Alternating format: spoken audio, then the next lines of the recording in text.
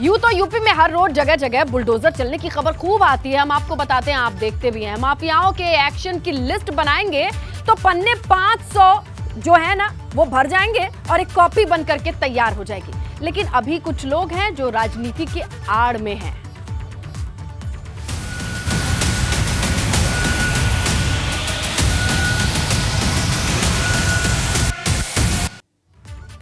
बिल्कुल, जो राजनीति के आड़ में बुलडोजर के एक्शन से छुपे हैं, उनमें से एक नाम मेरठ से भाजपा नेता भ्रष्टाचार का खुलासा इनके लिए हुआ है।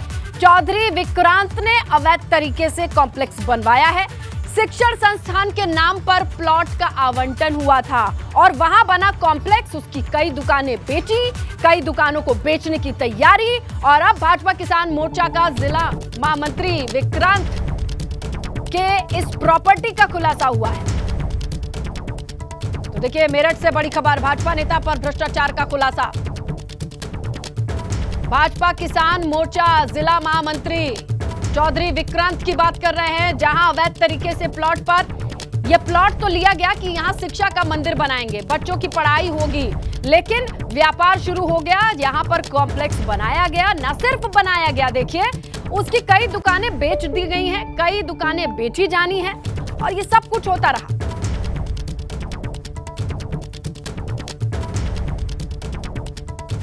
चौधरी विक्रांत। ये सिर्फ़ नाम या कोई शख्स नहीं है, बल्कि सेटिंग बाजी का एक ऐसा नमूना है जो आए दिन सामने आता है। चौधरी विक्रांत की चर्चा मेरठ में अक्सर होती है, लेकिन अब लखनऊ तक ये नाम गूंज रहा है, क्योंकि भाजपा किसान मोर्चा के जिला महामंत्री के पद पर बैठकर चौधरी विक्रांत ने बड़ा खेल कर दिया है। चौधरी विक्रांत ने ज़मीन तो शिक्षा के संस्थान के नाम पर ली, लेकिन वहाँ पर खड़ा कर दिया पूरा का पूरा कॉम्प्लेक्स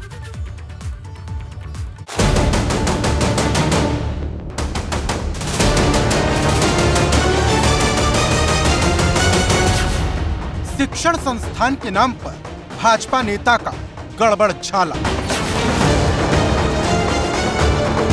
आप ये देखिए करीब 30 से ज़्यादा यहाँ पर जो दुकानें हैं वो बना दी गई। ये मोदीपुरम का जो पलहड़ा चौराहा पड़ता है उसके पास ये ये कॉम्प्लेक्स है और यहाँ देखिए कि यहाँ शिक्षण संस्थान बनाया जाना था। अधिकारी चुप रहे कॉम्प्लेक्स बनता चला गया। साल पहले जो ये ज़मीन है ये मेरठ विकास प्राधिकरण ने जो नीलाम की थी वो शिक्षण संस्थान बनाने के लिए इसका अलॉटमेंट किया गया था। लेकिन बावजूद इसके आप ये देखिए कि नियम कायदे कानून ताक पर रख दिए गए और एक एक करके जो दुकानें हैं वो यहाँ पर बना दी गई और मेरठ विकास प्राधिकरण के अधिकारी कुंभकर्णी नींद सोते रहे। शिव के नाम पर भाजपा नेता का शातिर खेल। को नाम दिया गया है शिवा मार्केट और मार्केट पूरी तरीके से अवैध है। चूँकि मैं फिर आपको बताना चाहूँगा कि शिक्षण संस्थान ही यहाँ पर बन सकता था क्योंकि जब लेआउट बनाया जाता है तो उस लेआउट में ये ज़मीन शिक्षण संस्थान के लिए छोड़ दी गई थी। भ्रष्टाचार की बुनियाद पर चौधरी विक्रांत की चालाकी। लेकिन मेरठ विकास प्राधिकरण के अफसरों से आप देखिए सेटिंग गेटिंग का क्या खेल खेला गया कि ये ज़मीन शिक्षण संस्थान के नाम पे आवंटित करा ली गई और उसके बाद सेटिंग गेटिंग का खेल खेल के यहाँ पर ये अवैध कॉम्प्लेक्स बना दिया गया। मेरठ के भ्रष्ट महल पर कब पहुंचेगा बुलडोजर? यहाँ नोटिस ज़रूर दिए गए लेकिन बीजेपी किसान मोर्चा के जो जिला महामंत्री हैं चौधरी विक्रांत उनका ये कॉम्प्लेक्स है बड़ा रसूख रखते हैं और उसी रसूख की बदौलत आप देखिए कि जहाँ छोटे बड़े अवैध निर्माणों पर बुलडोजर गरजता रहता है लेकिन आप ये देखिए कि मेन चौराहे पर जो पलहड़ा चौराहा है बेशकीमती यहाँ पर ये ज़मीन है लेकिन एक एक करके जो दुकानें हैं वो यहाँ पर बना दी गई। नेता रसूख और दुकान। प्राधिकरण में कितने बेईमान? कोई नक्शा पास नहीं कराया गया क्योंकि नियम के अनुसार कोई नक्शा पास ही नहीं हो सकता। इसलिए यहाँ सेटिंग गेटिंग का मेरठ विकास प्राधिकरण के अफसरों ने खेल खेला और उसके बाद ये देखे कि जो पूरा कॉम्प्लेक्स है वो यहाँ पर बनकर तैयार हो गया। आ, बड़ी महँगी जो दुकानें हैं वो यहाँ पर बेची गई। चालाक चौधरी पर कब चलेगा बुलडोजर?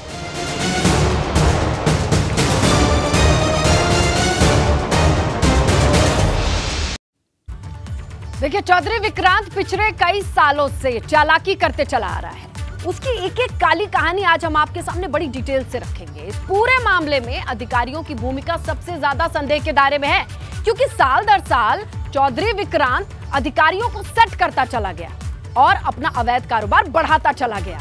ऐसा भी नहीं था कि चौधरी विक्रांत की करतूत के बारे में किसी को पता नहीं था। ये कॉम्प्लेक्स क्या अंधेरे में बन सकता है। पता सबको था, लेकिन सभी खामोश थे। कोई पैसे के नीचे दब जा रहा था तो कोई रुतबे के नीचे।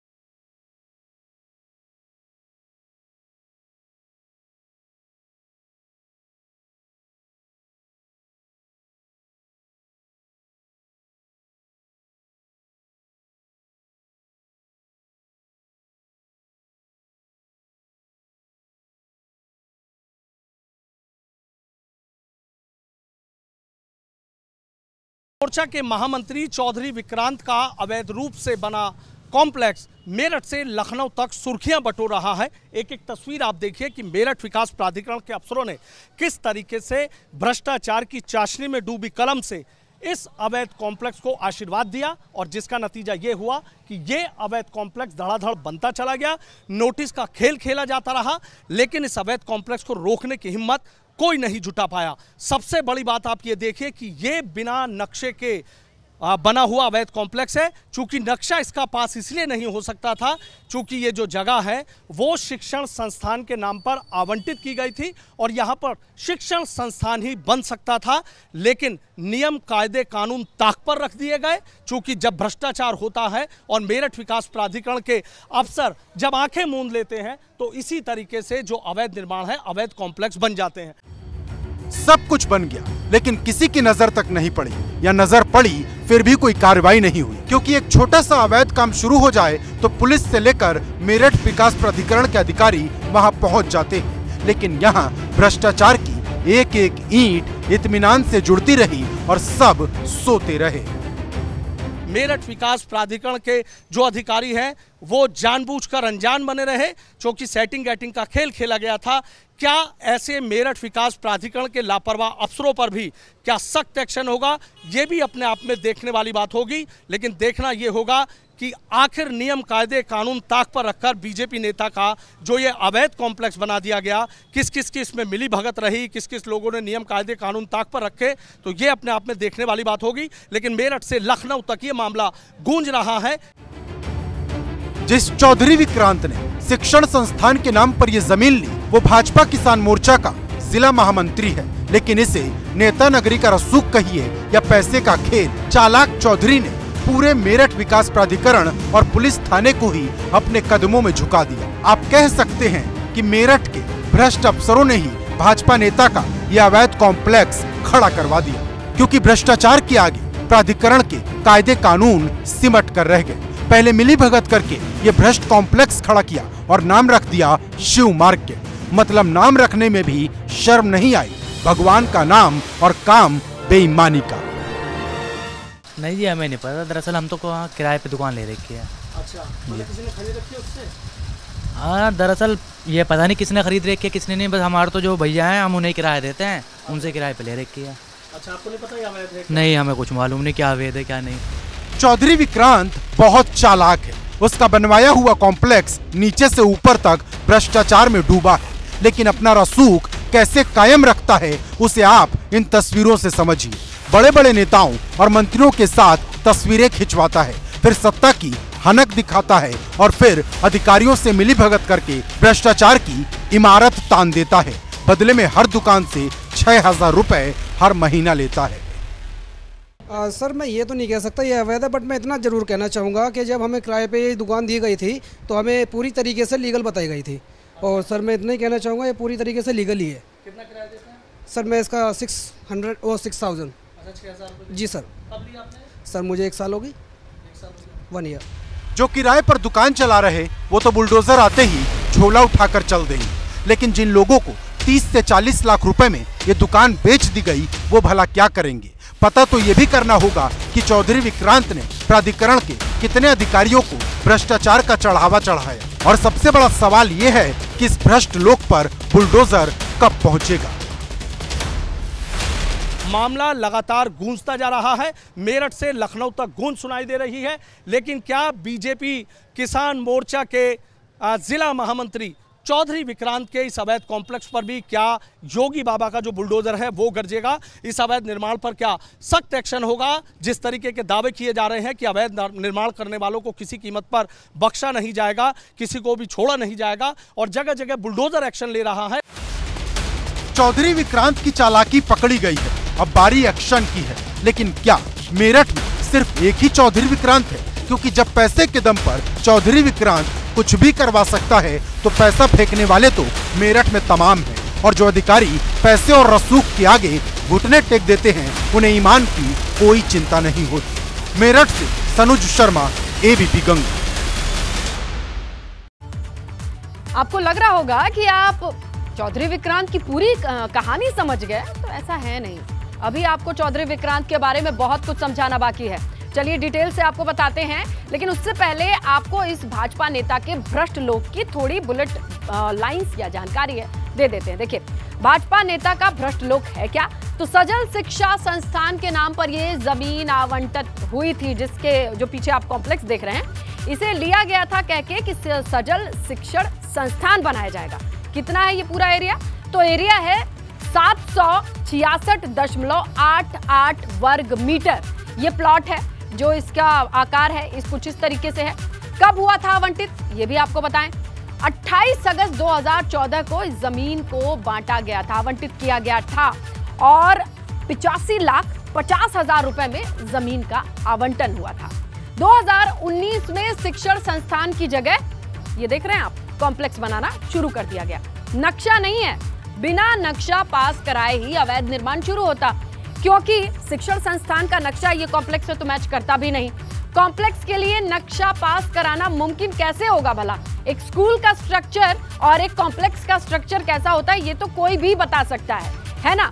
लेकिन चौधरी विक्रांत ने अधिकारियों के साथ मिल करके कदम कदम पर नियम तोड़े। जिन नियमों को भ्रष्टाचार के नीचे कुचला गया, वो नियम क्या है वो भी आपको बताएँ। नियम क्या कहता है? शिक्षण संस्थान के नाम पर ली गई ज़मीन पर यह कॉम्प्लेक्स गैर कानूनी है। आवंटन के बाद लैंड यूज़ में बदलाव नहीं किया जा सकता है। इसीलिए ज़मीन स्कूल की थी कॉम्प्लेक्स का नक्शा पास नहीं हो सकता। और बिना नक्शे के बना यह कॉम्प्लेक्स अवैध निर्माण की श्रेणी में आता है, जिस पर खूब बुलडोजर चलते हैं, हमने आपको खूब दिखाया है। लैंड यूज़ में बदलाव करने का अधिकार सिर्फ़ और सिर्फ़ विकास प्राधिकरण को है। लैंड यूज़ तभी हो सकता है जब तक प्लॉट आवंटित ना हुआ हो। धोखेबाजी से कॉम्प्लेक्स बनाने पर करोड़ों रुपए के राजस्व का नुकसान भी है और उन बच्चों का क्या जिनका भविष्य बन सकता था स्कूल में, शिक्षण संस्थान में, वो पढ़ाई करने के लिए आते, लेकिन अभी इसका किराया किसी एक शख्स के पास जाता है। किस तरीके से मेरठ में ये इतनी बड़ी बिल्डिंग तैयार होती है, जिसका नक्शा नहीं है जो ज़मीन किसी और काम की है और लोगों ने देखा, बनते चले गए और दुकानें भी खरीदी, दुकान चल रही हैं। समझते हैं हमारे सहयोगी सनुज शर्मा का सीधा रुख करते हैं मेरठ से। मेरठ विक्रांत की इस करतूत का एक एक पन्ना सामने आने वाला है। सनुज शर्मा, जो मेरठ में एबीपी गंगा के रिपोर्टर हैं, वो हमारे साथ जुड़े हैं। तो हम सनुज से ये समझने की कोशिश कर रहे हैं। सनुज, ये आज का खेल नहीं है। 2019 में ये बनना शुरू हुआ है। कौन कौन इस इस दरमियान अधिकारी थे जो इस, इस इसको बनाने के लिए हरी झंडी देते गए? नक्शा नहीं देखा। कैसे आवंटित हुई ये नहीं देखा? क्या है ये रही है ये कहानी जब से ये कॉम्प्लेक्स बनना शुरू हुआ है? हाँ देखिए 2019 में ये जो ज़मीन है वो सजल शिक्षण संस्थान के नाम पर आवंटित की गई थी। क्योंकि जब मेरठ विकास प्राधिकरण या कोई भी प्राधिकरण किसी शिक्षण संस्थान के लिए ज़मीन देता है तो उसके जो दाम है वो काफ़ी कम होते हैं। अब नियम ये कहता है कि यहाँ पर जो शिक्षण संस्थान है शिक्षा का मंदिर ही बनना चाहिए था लेकिन रसूख की कहानी और भ्रष्टाचार की चाशनी में जब कलम डूब जाती है तो कुछ इसी तरह की कहानी लिखती है। वो ये कहानी आप देख लीजिए। ये है जो आ, बीजेपी नेता हैं चौधरी विक्रांत, ये उनका अवैध कॉम्प्लेक्स है। कोई नक्शा इसका पास नहीं है। बिना नक्शा पास कराए आप देखिए किस तरीके से एक, दो, दस, बीस नहीं, बल्कि तीस से ज़्यादा दुकानें बना दी गई। मेरठ विकास प्राधिकरण के अफसर कहाँ सो रहे थे? पूरा एक यहाँ पर एक सिंडिकेट चल रहा था और उसी सिंडिकेट की वजह से ऐसे लोग पनपते हैं। सेटिंग, गेटिंग का, रसूख का और भ्रष्टाचार का जब खेल खेला जाता है तो नियम, कायदे, कानून इसी तरीके से पैरों के नीचे कुचल दिए जाते हैं और ये नियम, कायदे कानून कुचलने का और भ्रष्टाचार का, मेरठ विकास प्राधिकरण के अफसरों के भ्रष्टाचार का ये बड़ा उदाहरण आपकी आप सामने देख सकते हैं। आप ये देखिए कि यहाँ शिक्षा का मंदिर बनना था, ये दुकानें कैसे बन गई। आपने एक चीज़ देखी होगी कि अगर कोई एक आदमी 80 या 100 गज का कोई मकान या प्लॉट पर कोई निर्माण करना चाहता है तो मैट से लेकर जेई, नोडल, जोनल, तमाम अफसरों के फ़ोन घनघनाने लगते हैं। उसे ऐसा कर देते हैं क्या गलत काम कर दिया? लेकिन आप ये देखिए कि ये सात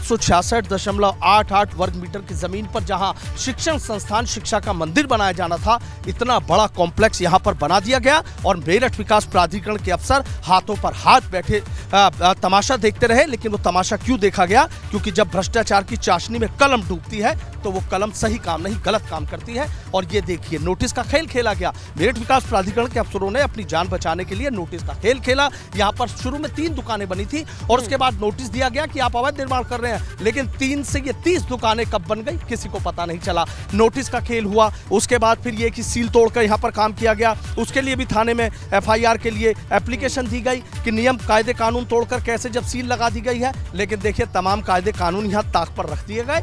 ये अवैध कॉम्प्लेक्स यहाँ पर बनता रहा। पूरे रसूख का यहाँ पर इस्तेमाल यहाँ पर किया गया। मेरठ विकास प्राधिकरण के अफसरों को मोटा चढ़ावा अच्छा, चढ़ाया गया। करीब तीस से चालीस लाख रुपए की तो दुकानें बेची गई हैं, भेजा नहीं जा सकता कि उस पे उस पे कोई जवाब ना दे तो भी काम चलता रहेगा। नियम क्या कहता है? नोटिस देने के कितने दिन बाद बुलडोजर चल जाना चाहिए? देखिए, मेरठ विकास प्राधिकरण के नियम अफसरों के अनुसार तय होते हैं। उनका मन करता है तो एक नोटिस देते हैं, उसके बाद एफआईआर कराते हैं और उसके बाद ध्वस्तीकरण का आदेश करके ध्वस्त कर देते हैं। लेकिन जब किसी को बचाना हो तो फिर अपीलों का खेल शुरू हो जाता है, फिर उसको मौका दिया जाता है, वो कहीं चला जाए। अब देखिए, नियम सीधा क्या कहता है? देखिए, सबसे बड़ा जो उसमें झोल है, वो ये है कि पूरा एक सिंडिकेट यहाँ पर मेरठ विकास प्राधिकरण के अफसर और कुछ बिल्डरों का चल रहा है। ये ज़मीन शिक्षण संस्थान के नाम पर मेरठ विकास प्राधिकरण के अफसरों ने बताई होगी। उसके बाद एक पूरा कोकस बना के ये ज़मीन दिला दी गई और उसके बाद यहाँ पर जो कॉम्प्लेक्स है, वो बनाना शुरू कर दिया। लैंड यूज़ चेंज करने का किसी को अधिकार नहीं है। शिक्षण संस्थान था और शिक्षण संस्थान पे शिक्षा का मंदिर बनना था। कॉम्प्लेक्स कैसे बना दिया गया? मोटी इसमें कहीं ना कहीं तमाम तरह के आरोप लग रहे हैं कि मोटी डील हुई है जिसके बाद ये तीस से ज़्यादा दुकानों का जो अवैध कॉम्प्लेक्स है ये बना दिया गया। आप ये देखिए इसका नक्शा किसी कीमत पर पास नहीं हो सकता क्योंकि लैंड यूज़ चेंज करने का अधिकार नहीं है। जो मेरठ विकास प्राधिकरण की अगर हम बात करें तो जो प्राधिकरण का नियम है वो ये कहता है कि जो लैंड यूज़ चेंज करने का अधिकार है वो मेरठ विकास प्राधिकरण को है लेकिन कब? जब तक किसी प्लॉट का आवंटन ना हुआ हो बिल्कुल सनुज, एक बार जिस काम के लिए ज़मीन है आवंटित हुई और इसीलिए ये नक्शा पास हुआ ही नहीं और बिना नक्शा की कॉम्प्लेक्स की तस्वीरें मेरे पीछे आप लगातार देख रहे हैं। कैसे उसने 2019 में प्राधिकरण को परेशान कर दिया था? इसका सबूत अब तक हमने आपको दिखाया। ये रिपोर्ट देखने के बाद आप एकदम समझ जाएँगे, जो सवाल आपके जहन में आ रहा है, वो एकदम क्लियर हो जाएगा।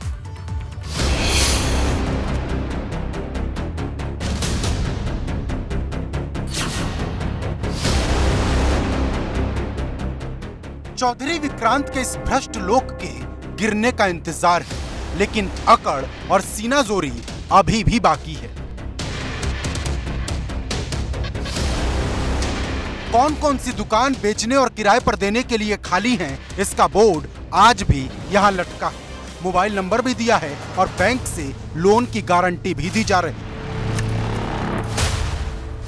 चालाक चौधरी, इतनी सीनाजोरी क्यों कर रहा? इसके कुछ सबूत हम आपको दिखाते हैं।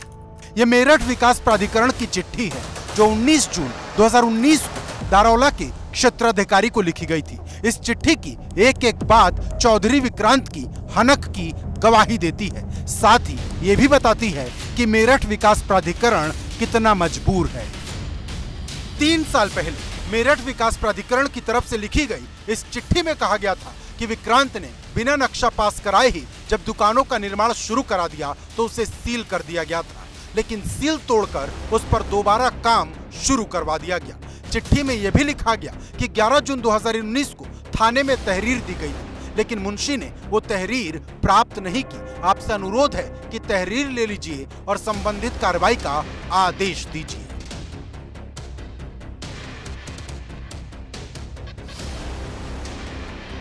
यानी मेरठ विकास प्राधिकरण सीओ के सामने गिड़गिड़ा रहा था, अपनी व्यथा सुना रहा था, ये बता रहा था कि चौधरी विक्रांत का वो कुछ नहीं बिगाड़ पा रहा, मना करने के बावजूद वो मनमानी कर रहा था।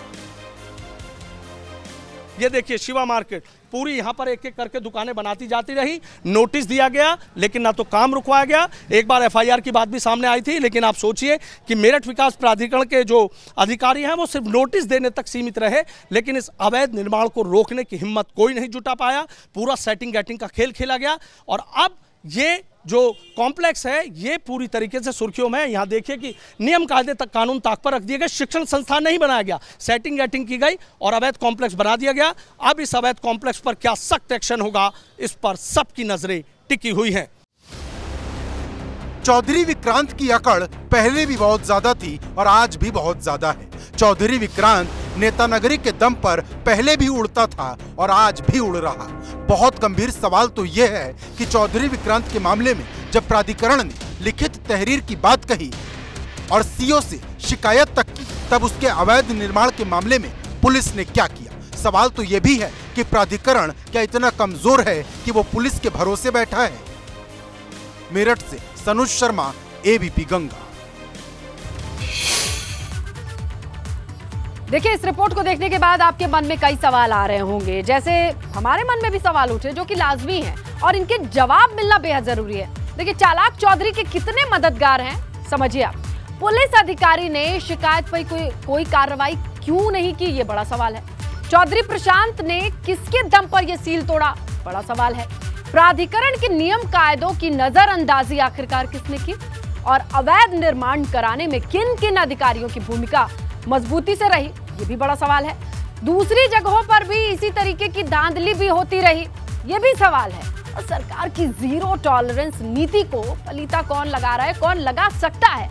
और चौधरी विक्रांत के अवैध निर्माण पर बुलडोजर कब पहुंचेगा, ये सबसे अहम सवाल है।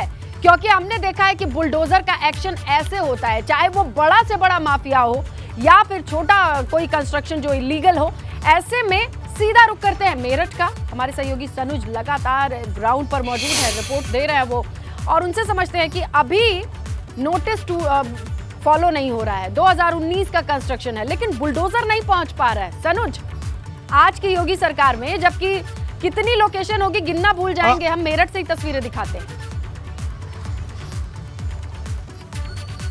हाँ देखिए एक पक्ष हमें और समझना पड़ेगा और वो पक्ष है चौधरी विक्रांत का वो पक्ष ये है कि देखिए, मेरठ विकास प्राधिकरण के जो तत्कालीन वीसी थे, उन्होंने इस कॉम्प्लेक्स के अवैध कॉम्प्लेक्स के ध्वस्तीकरण के आदेश दिए थे। मामला कमिश्नर के यहाँ अपील में गया। जो वीसी का आदेश था, उसको बरकरार रखा गया। लेकिन फिर शासन से यहाँ एक चिट्ठी आती है, जिसमें यह कहा जाता है कि चौधरी विक्रांत को एक बार और सुना जाए। उनका यह आरोप था कि उन्हें पूरी तरीके से सुना नहीं गया, उनका पक्ष नहीं रखा गया और जल्दबाजी में जो ध्वस्तीकरण के आदेश हैं, वो दे दिए गए। अब इस मामले में 24 तारीख को फैसला होना है। 24 तारीख को जो यहाँ यहाँ जो डीएम है, दीपक मीणा, उन पर कार्यवाहक वीसी मेरठ विकास प्राधिकरण का भी चार्ज है। तो 24 तारीख को जो चौधरी विक्रांत है, उनको अपना वहाँ पर पक्ष रखना है।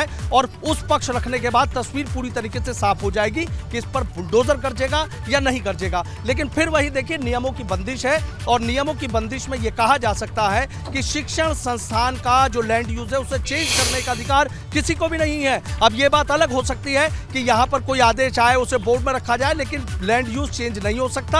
आवंटन से पहले लैंड यूज़ चेंज होता है और उसका भी नियम इतना कह रहा है। आपको विज्ञप्ति निकलवानी पड़ेगी, आपको आपत्तियाँ लेनी पड़ेंगी। तमाम बहुत लंबी प्रक्रिया है। और उसके बाद मेरठ विकास प्राधिकरण लैंड यूज़ चेंज कर सकता है, लेकिन यहाँ पर लैंड यूज़ चेंज खुद कर दिया गया, चूँकि यहाँ शिक्षण संस्थान के लिए जगह ली गई और शिक्षण संस्थान की जगह लेने के बाद यहाँ अवैध कॉम्प्लेक्स बना दिया गया, चूँकि नक्शा शिक्षण संस्थान का हो सकता था।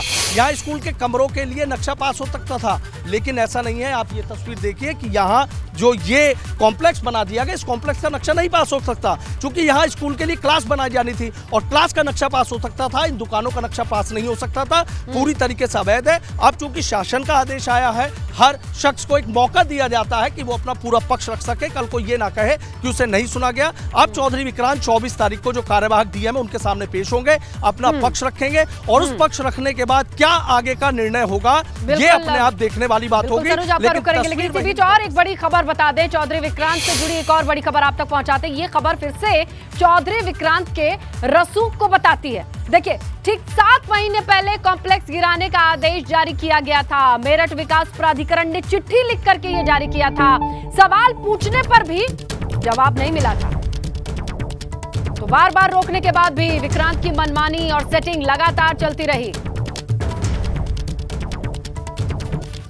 यानी विक्रांत चौधरी सरकारी सिस्टम को बहुत कमज़ोर समझता था या अपने आप को बहुत मज़बूत समझता था। ये जो वो कुछ भी वो सोचता था, क्योंकि सब कुछ सही दिखाई देता है उसका किसी ने कुछ बिगाड़ा तो है नहीं। उसका कॉम्प्लेक्स चल रहा है, उसकी सेटिंग बाजी के दम पर हर वो फैसले रुकवा लेता था जो उसके अगेंस्ट होते थे।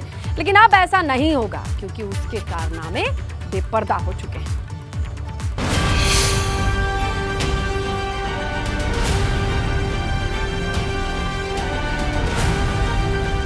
चौधरी विक्रांत की चालाकी का पूरा कच्चा चिट्ठा अब सामने है और उसके काले कारनामे का एक एक अक्षर नंगी आँखों से पढ़ा जा सकता है।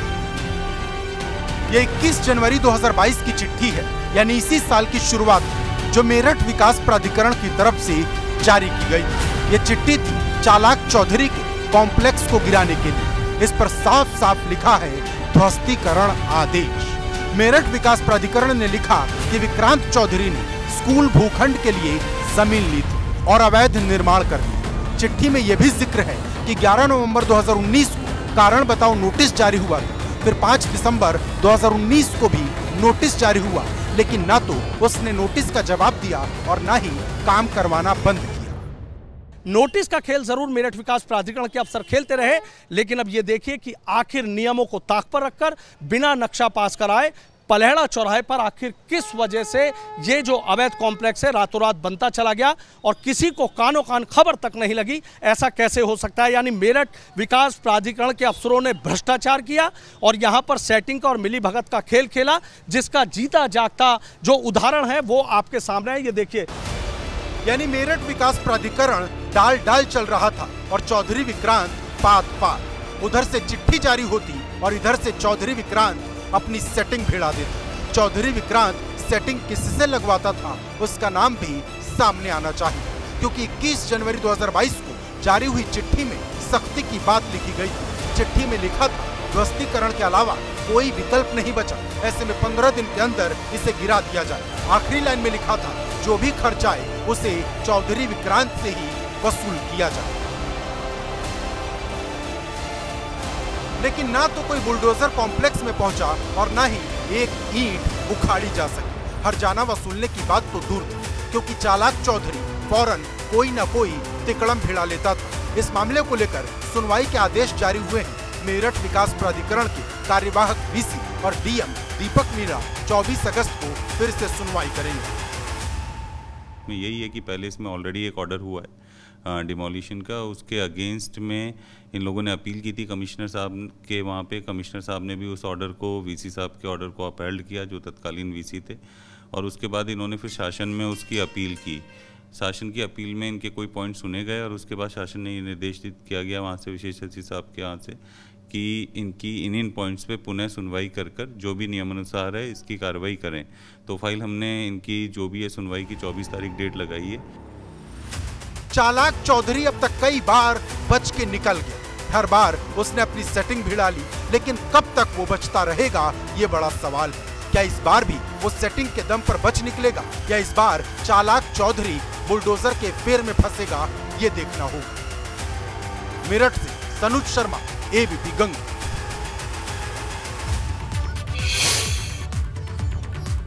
तो चलिए, ये भी समझ लीजिए कि चौधरी विक्रांत ने पैसे और सियासी ताकत का कितना अच्छा इस्तेमाल किया। सबसे बड़ा सवाल ये है कि चौधरी की ताकत बढ़ाई किसने?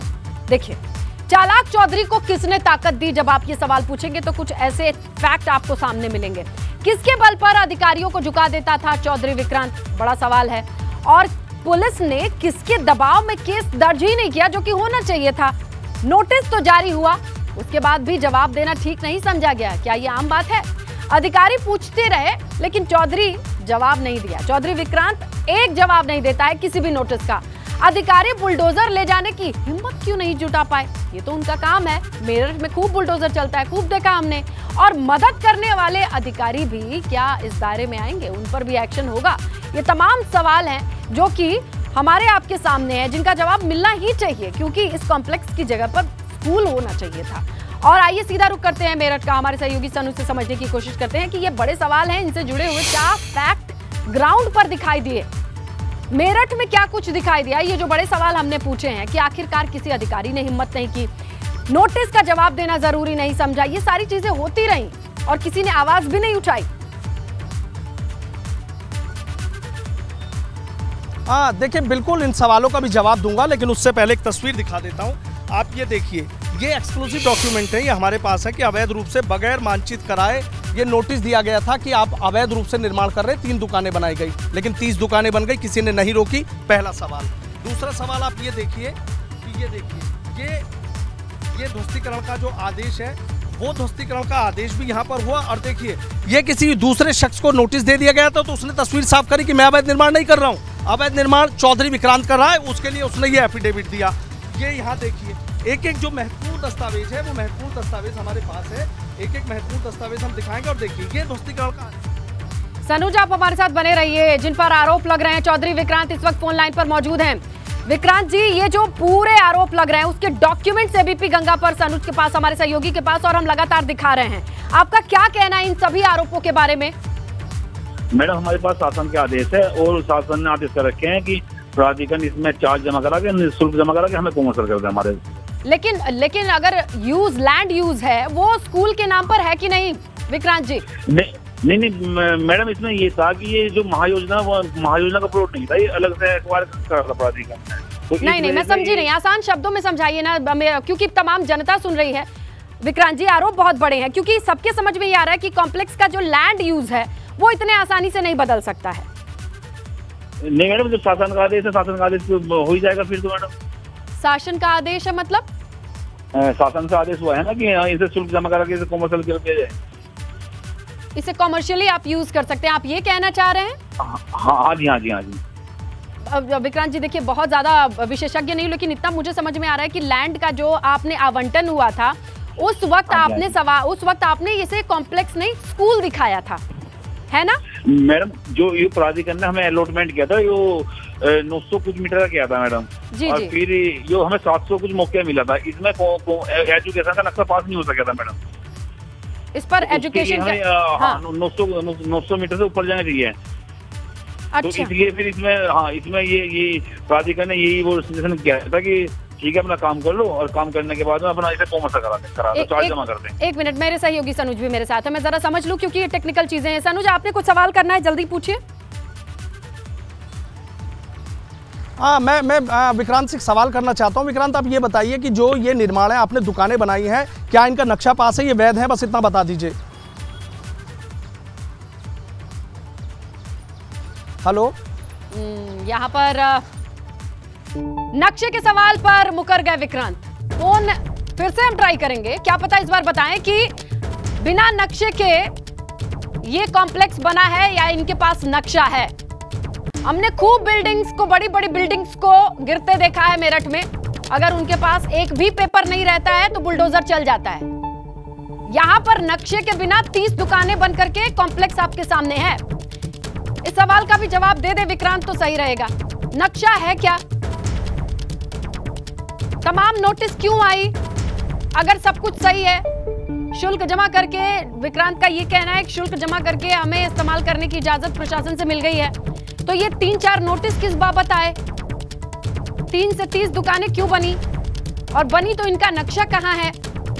विक्रांत चौधरी ने अभी फ़िलहाल फ़ोन काट दिया है, लेकिन हम समझने की कोशिश करेंगे। अगर इस सवाल के भी जवाब दे दें तो फिर बहुत आसान हो जाएगा। हम सीधा रुक करते हैं हमारे सहयोगी। सनुज का। सनुज क्या समझाने की कोशिश कर रहे थे? मैं तो बहुत अच्छे से नहीं समझ पाई। ये शुल्क जमा करके आप दुकानें चला सकते हैं। क्या मतलब है हाँ, इनका? मैं हाँ देखिए मैं आपको बताता हूँ कोई शासन इस तरीके आदेश नहीं दे सकता है क्योंकि मेरठ विकास प्राधिकरण का एक अपने लॉ होते हैं।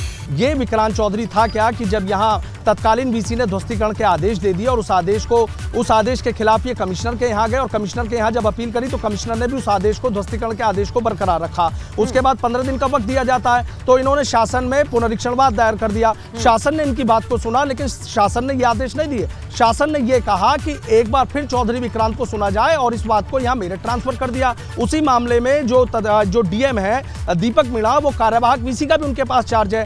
अब वो यहाँ इनका पूरा जो पक्ष है वो पूरा पक्ष सुनेंगे। पूरा पक्ष सुनने के बाद मेरठ विकास प्राधिकरण के बोर्ड में मामला रखा जाता है लेकिन वही बात है कि कैसे कौन से ऐसे नियम है कि जिसके तहत आवंटन होने के बाद लैंड यूज़ चेंज किया जा सकता है? मेरठ में ऐसे हज़ारों निर्माण हैं जिन लोगों ने लैंड यूज़ चेंज करने तो चेंज करके निर्माण कर लिया। ये तो एक नजीर बन जाएगी कल को वो लोग भी आएँगे। तो आसान है ये तब तो तो बिल्कुल आप समझिए मेरठ विकास प्राधिकरण की एक नहीं देखिए बहुत सारी चीज़ें हैं। अब 24 तारीख में डीएम क्या इस पर निर्णय लेते हैं उसके बाद सवाल होगा। लेकिन देखिए जब उनसे पूछा गया कि क्या सनी जी आपने बिल्कुल ठीक कहा ये नजीर बन जाएगा। अगर इतने आसानी से लैंड यूज़ के लिए पेपर्स चेंज हो सकते हैं तो मेरठ में इतने सारे बुलडोजर चले क्या उन लोगों के पास ये पावर नहीं थी कि वो पेपर चेंज करा करके आराम से अपना निर्माण करते रहे शुल्क भर दें? कि नहीं स्कूल के बजाय कॉम्प्लेक्स चला रहे ये लीजिए प्रशासन के लिए शुल्क भरा और काम हो गया। इन तमाम चीज़ों पर अभी भी बड़े सवाल उठते हैं कि आखिरकार मेरठ में हर जगह चलने वाला बुलडोजर जहाँ नक्शा नहीं है वो यहाँ क्यों नहीं चल रहा और कब चलेगा? तो देखिए, मेरठ में भ्रष्टाचार का महल कॉम्प्लेक्स बन करके तैयार है। जहाँ मेरठ में कोई बिना नक्शा पास कराए कोई अवैध अतिक्रमण हो तो उस पर बुलडोजर चलते देरी नहीं लगती। लेकिन यहाँ पर रसूख और पैसा कैसे काम करता है? और इसके लिए अब चलिए हम लगातार समाजवादी पार्टी से रतीक अंसारी विधायक हैं। वो हमारे साथ एबीपी गंगा पर जुड़े हैं, उनसे भी सुनते हैं। रतीक जी, स्वागत है एबीपी गंगा पर। क्या कहना चाहेंगे आप? देखिए अगर सबकी जाँच हो जाएगी तो सैकड़ों ऐसे कॉम्प्लेक्स और ऐसे बिल्डिंग निकलेंगी जो अवैध रूप से बनी हुई है बीजेपी के लोगों की। अब इंतज़ार ये है कि बाबा जी का बुलडोजर कब आता है वहाँ पर? नियम कानून किस किस के लिए है? विपक्ष वालों के लिए है या सत्ता वालों के लिए है? अब तो इंतज़ार ये है कि नियम देखना किस किस के लिए है और बाबा का बुलडोजर कब आता है। अच्छा ये बताइए कि आप लोग क्या विरोध करेंगे सड़क पर आएँगे या ऐसे ऐसे कोई जिम्मा उठाएँगे कि जहाँ जहाँ जैसा आपने कह दिया सैकड़ों ऐसे मामले होंगे जहाँ पर अवैध अतिक्रमण मिलेगा? क्या पार्टी की भी कोई अगर हम्म, अरे अगर अगर हम विरोध करेंगे तो हमारा ही मकान गिरा देंगे। एंकर साहब मैडम तो हम तो लेके विधानसभा में पूरी आवाज़ उठाएँगे ताकत के साथ। आप तो जानती है हमारा मकान गिरा हमसे दुश्मनी क्यों कर रहे हैं आप? अरे रफीक अंसारी जी आप आप विपक्ष में बहुत बड़े प्रदेश के विपक्ष के दावेदार हैं नेता हैं। आवाज़ उठाना आपका काम है। जो खामियाँ हैं गिनवाना आपका काम है। हम तो माध्यम है कि आप पहुँचे तो हम आपको दिखाएँ और आपसे पूछें। देखिए जो हमारा प्लेटफॉर्म हमको मिला है जो हमारी जनता ने दिया है हम्म। लेके सड़क से लेके विधानसभा में पूरी ताकत के साथ आवाज़ उठाएँगे हम्म। और बाबा जी का बुलडोजर को मजबूर कर देंगे यहाँ लाने के लिए और इस कॉम्प्लेक्स को गिराने के लिए। चलिए रफीक अंसारी जी हैं और इसके साथ कांग्रेस की भी प्रतिक्रिया आने शुरू हो गई है। और अवनीश काजला हमारे साथ फ़ोन लाइन पर मौजूद हैं। कांग्रेस की ओर से क्या कहना चाहेंगे अवनीश जी? देखिए मैडम ये तो एक छोटी सी बानगी है। इस तरीके के तमाम मेरठ के अंदर अवैध कॉम्प्लेक्स हो ये जब बिल्डिंग बन रही थी जब आवंटित हुई थी मेरठ विकास प्राधिकरण के लोग क्या कर रहे थे? कहीं ना कहीं उनकी सह पे बड़े नेताओं की सह पे इतना बड़ा कॉम्प्लेक्स बन के तैयार हो गया तो कहीं ना कहीं इसमें बहुत सारे लोगों का हाथ मिलेगा। ज़ाहिर सी बात है ये रातों रात 2019 से बना प्राधिकरण की निगाहों के सामने बना कॉम्प्लेक्स है तीन तीन नोटिस को इग्नोर करके ये बड़ा कॉम्प्लेक्स हुआ। तो भाजपा नेता का भ्रष्ट लोग जहाँ मेरठ मेरठ में एक तीस दुकानों का कॉम्प्लेक्स बन करके तैयार हो जाता है। 2019 का ये कंस्ट्रक्शन है, जिसका नक्शा नहीं है, जिसे तीन बार नोटिस दिया जा चुका है। लेकिन चालाक चौधरी के कितने मददगार हैं, ये अभी भी सवाल, जस का तस बना हुआ है। प्राधिकरण के नियम को ताक पर रख करके जहाँ 30 दुकानों का ये कॉम्प्लेक्स 2019 में बन करके तैयार है, इस पर बुलडोजर नहीं चला अभी तक।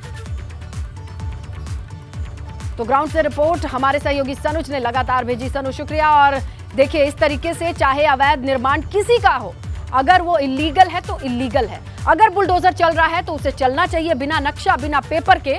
कोई भी अगर कंस्ट्रक्शन तैयार है, लेकिन ऐसे में क्या रसूख या फिर बीजेपी का तमगा किसी के लिए मददगार है? इसीलिए ये बड़ी कवरेज हमने आप तक पहुंचाई।